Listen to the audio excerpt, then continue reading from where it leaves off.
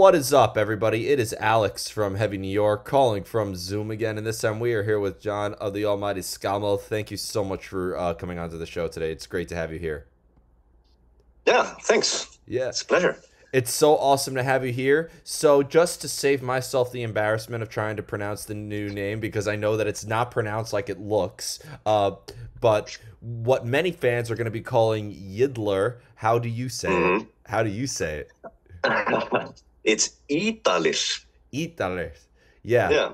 Yeah, I was close as a virtual. Yeah, yeah, yeah. First question I had to ask is: I'd imagine you guys are doing a lot of press with the new album. Has anybody gotten it right on the first time pronouncing it? Uh, no. Yep, exactly. yeah. So to all well, the, to anybody who dislikes this YouTube video just because I uh, mispronounced it, just know everybody is. So. Yeah, uh, uh we we didn't even think about it because uh, you know the last one was pretty pretty easy, Sorgir. But before that, we had an album called Vögguvísur Yggdrasils, and we finally we thought we had topped the the unpronounceable titles. We thought that was relatively easy. This one, but apparently, yeah, I hadn't thought about the yeah the, the Y has a different it, it's so uh, ironic. So. It's so ironic yeah. because you have a very easy logo to read, which most bands don't these days, but you have difficult names to pronounce. So the the pattern is the harder it is to read the logo, the easier it is to pronounce. The harder it is to pronounce, the easier it is to read the logo. That's the pattern right there. Uh, yeah, yeah. That makes sense, actually. Yeah, I thought about doing a heavy metal Wheel of Fortune where they show like a logo and people have to guess what like letters it is there and everything like that. We got to make that happen. but it's so awesome to have you here because um, with this new record, was this you know the last time I had a Skálmöld on the show, um, we were discussing the live album that you guys put out, the 10 year anniversary live in Reykjavik uh, which was mm-hmm. a fantastic live album. In fact, uh, I went to Reik- I went to Reykjavik for the first time last year and was listening to that uh, on the way there. But uh, was this new album intended to be sort of like a continuation of Sorgir, your previous one, or was this meant to be like new uncharted territory for Skálmöld? Um, we we really don't think about it that much when we are writing. Um, somehow it always seems that that uh, a new album is al- always a bit of I don't know, a bit of a departure from the album before because we've done something and then we probably like uh, not without knowing it try to do something slightly different. So like uh was really raw. So Vögguvísur Yggdrasils was a bit more polished. Uh, but now, since it, it, was five years between, um, I don't think we actually got stuck in that. So it's kind of like starting completely afresh. Mm. And and yeah, we no, we were just having fun. Yeah. Really, we just jammed it a lot. We went together and, and locked ourselves up for a couple of days and just wrote material for like 12 hours a day. And it's just something that happened. There was no plan of doing anything different or new or mm. or even trying to copy something else. It's just happened. Well, you know, with Skálmöld, you know, meaning uh, Age of Sword and all this has like there always been because there's been a lot of uh, Icelandic bands and you know a lot of them do incorporate you know the sort of uh, Nordic culture or the even Scandinavian culture and the thematics that are in there mm-hmm. as well. Like I've interviewed I think like four bands from Iceland now that have the sort of like folk like uh uh pagan element in it and all that. So would you say that maybe like with your style maybe it's evolved, but have you always has Skálmöld always kept uh, the themes of each album fairly similar like in a way? Do you try to keep like a continuing storyline going? Uh, I mean continuing between albums then? Yeah. Uh, no, not really. Uh, we, we always we kind of stick with with uh, the theme in a way. It, all the albums are like concept albums. They all tell a story. Uh, and and we use yeah, I mean we use the, the Norse mythology and and Icelandic folklore and stuff as a as a basically uh, a ground to build a story on. But it's always just basic like Dungeons and Dragons esque fantasy that we kind of weave around the themes.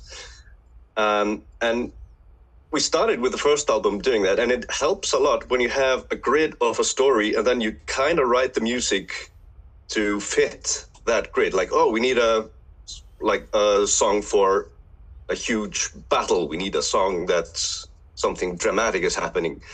So it it it's makes it really easy to build the the grid of the album through the themes. Mm. But then the real story and the lyrics come basically after that. So, but so yeah, it's we got kind of used to this, I guess, mm. and and we still do it. Mm. Well, you know, I ask a lot of uh, bands that bring these sort of uh, fantasy elements and these mythological elements because you know there's a famous saying, you know, we are what we create. You know, the painter Henri Matisse said every painting is a self portrait. So has you or any of your bandmates has your own personal lives or your personal experiences ever uh, been a source of inspiration for your songwriting because you know between your first album Baldur coming out in 2010 a lot has happened since then. We all evolve as people so. Yeah. No um no not really. These are just these are just fantasies. Completely. So it's probably i mean everything you you experience I, I think it probably has more to do with how we evolve as musicians uh, like lyrically and and the stories, that's always just completely out of the blue. Yeah. Um, is there maybe like a lot of research that you and your bandmates kind of do into it? Is there like a lot of reading literature or film or visual art? Like, do you almost kind of like look for different stories or different aspects to incorporate? it would be very cool if I said yes, but no, not really.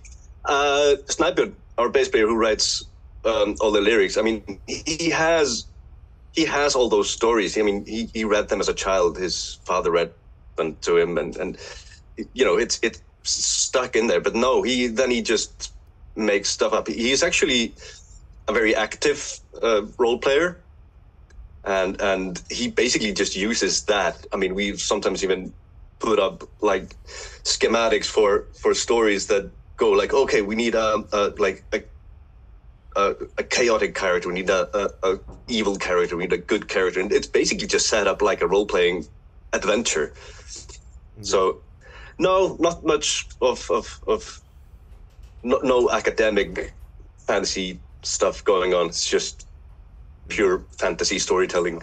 Yeah. Um. So when it comes to uh being that all of you have to though bring in your vocals i know that um, your bassist writes a lot of the lyrics but when it comes to your uh, vocal uh, incorporations uh, do you all mm-hmm. need to be in the same headspace like emotionally in a way? Because you all bring vocals to it. Do all of you kind of need to be in the same emotion or be in the same sort of energy when harmonizing and singing together?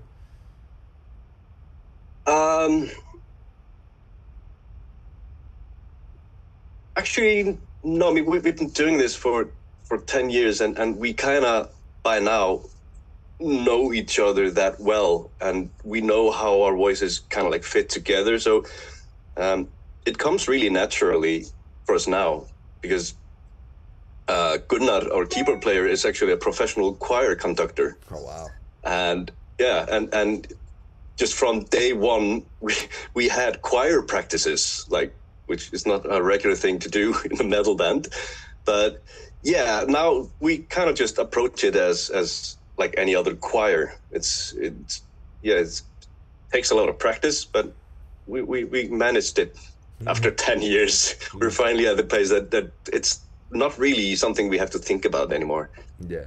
Um, when it comes to your approach to drumming though um, because mm-hmm. you know with the with the rhythmic elements i feel like rhythm is probably one of if not the most important aspect in this uh, style of metal in a way so have mm-hmm. have you always preferred to have music before you lay down your patterns and lay down your drumming in a way or have you ever had a whole drum pattern that maybe the band could write according to um no, not really. It's because we, we usually we have like riffs. Uh, usually the guitar riffs come first, and then I kind of like lay down my somehow my idea of what what it should be, which is sometimes completely different to the idea that the guy who had the riff uh, had in his mind. But then we just like jam it, and and it usually just we usually don't change it that much. If if it just fits, if it feels good, then it just stays like that. And I mean, I have to even today, I, I, I still think like, what would Nicko McBrain play on that? Uh, and and use that. if in doubt, always ask what would Nicko play, and then do that.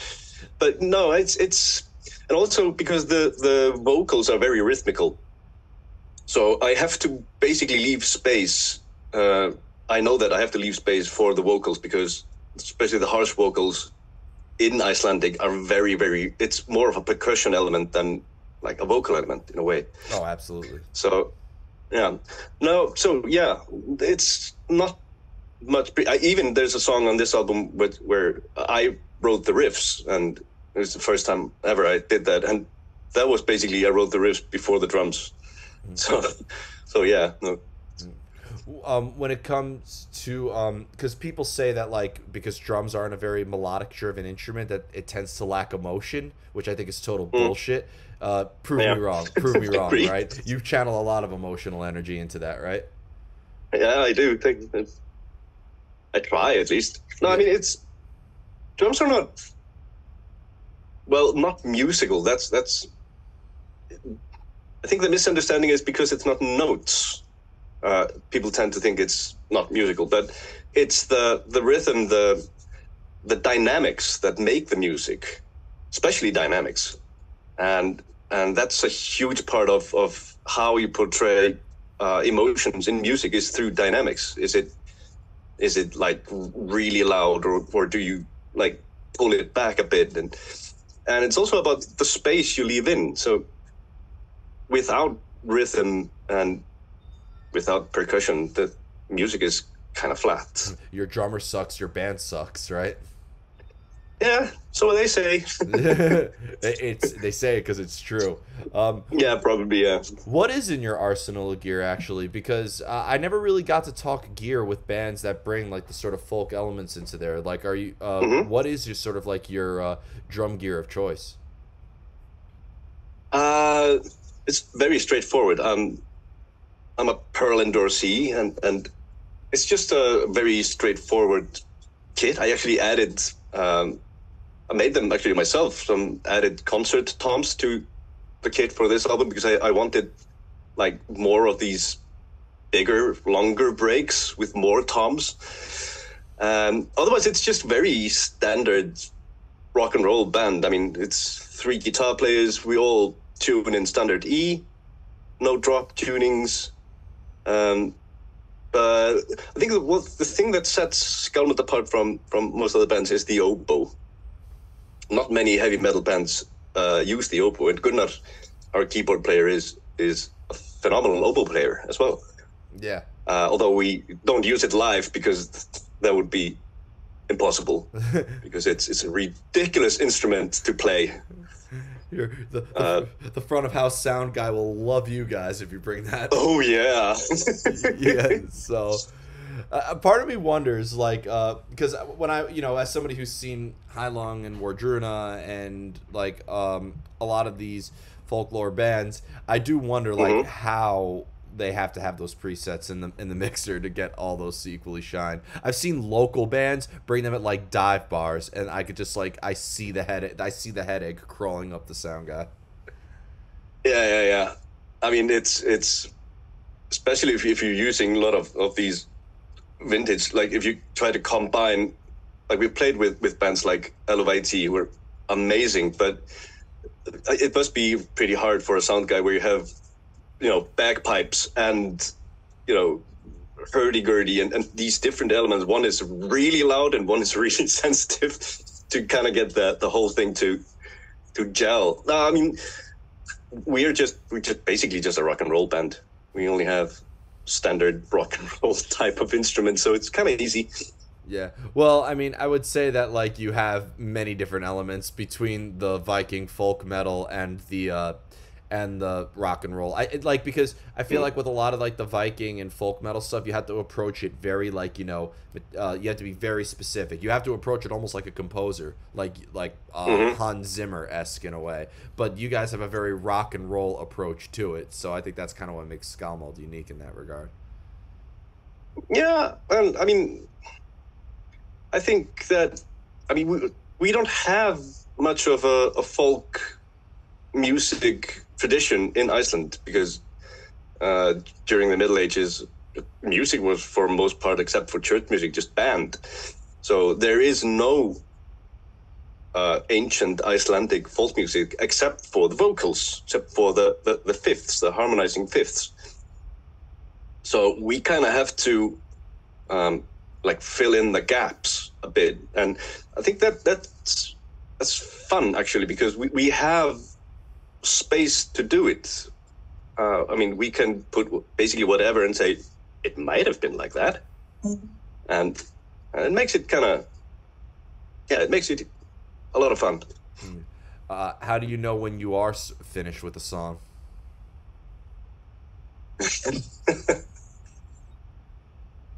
we usually don't. Um, because when, when we were writing, uh, the lyrics are usually not ready until basically we start singing. So it, it's basically they're still warm from the printer when we are reading them, and we are usually doing all the vocal arrangements in the studio. So even when we go to the studio with a song that's okay, that's finished because we know it has a beginning and the ending, and we know what we're going to play. We still don't know how it will sound. It's like okay, we think this is good, but we know we have to add all the Skálmöld elements to it yet the vocals the choirs and stuff so we really we really don't know when we go into the studio how the song is actually going to sound. So like for example now we only had nine days. We only gave ourselves nine days in the studio. So we had to go in with with all the songs. We know all maybe 80% how they are going to end up and the rest is basically just a snapshot of the band in the studio doing it kind of in real time. And then you just have to let it go. It almost seems like every Skálmöld album is a live album in that regards. yeah in a, in a way. I mean it's it's we don't spend a lot of time uh you know polishing the songs and the arrangements before the studio. And i, I th- think in a way that probably keeps um like the excitement in the song to a certain degree uh, because it's it's it's now or never. It's it's not like yeah we've planned this completely. It's it is happening a lot in the just in the moment. Definitely. So uh, and i hope it, it yeah, and i hope it it it, it shows yeah. Well, if you work on something for a long period of time, does it make it more and more like the longer you work on something, the harder it is to sort of capture that moment in time? yeah yeah, yeah. and and and sometimes you just you just lose the point in a way i mean you you you kind of lose where you were going to go with it because it's gone circle after circle after circle and you start trying to fix things that maybe didn't need fixing at all Yeah, you know, you end up overcooking it. yeah yeah in a way So before we go, I want to thank you so much for your time today and uh, for such an awesome conversation. Most of all, thank you for an awesome new album. Just uh, Thank before you. we go, is there uh, anything else uh, with Skálmöld that you would all like to promote in terms of upcoming shows, tours? What can we be expecting for this new album? And you say the album, not me. well um yeah basically i mean we're releasing our, our new album our sixth studio album which is crazy called Ýdalir on napalm records in, in august. Um, we have our first european headline tour in october. Really looking forward to that. And there's some festivals and stuff. Um, i just play the drums so i'm not quite sure of the schedule i just show up i'm supposed to be uh, don't they put the schedule and everything like on the drum set? Like I figure you of all people would like know it. I've been backstage before. I've seen I, I know. I mean, but I, I know that they, I'm, I'm supposed to be at this place at that date, but you know, take it like half a year ahead, then I'm totally lost. Fair enough. but yeah, uh, just try to to keep an eye on us on on social media and stuff, and you'll find out what we're doing. Hell yeah. Well, thank you so much, everybody. we are here with Skálmöld. Be sure to check out their brand new album. What is it called? Ýdalir. What he said out on Napalm Records very soon. This is Alex from Heavy New York, and we will see you next time.